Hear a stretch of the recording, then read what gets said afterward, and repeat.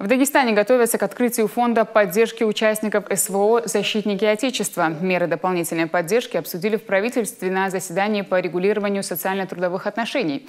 Это будет филиал уже существующего Госфонда. Говорили и о других формах поддержки. В частности, это выделение средств на покупку газового оборудования и предоставление детям мобилизованных граждан и добровольцев специальной квоты на обучение в Дагестанском университете народного хозяйства. Размер квоты составляет 10 10% от общего приема.